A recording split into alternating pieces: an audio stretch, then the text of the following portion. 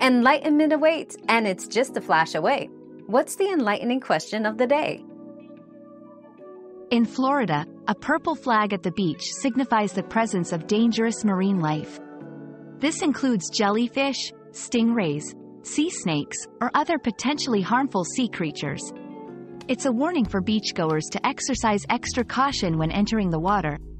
While it doesn't necessarily mean the beach is closed, it's crucial to stay vigilant and follow safety guidelines provided by local authorities or lifeguards to ensure a safe and enjoyable beach experience. Another mystery solved, but many more await. Keep up with our daily discoveries by subscribing and turning on notifications.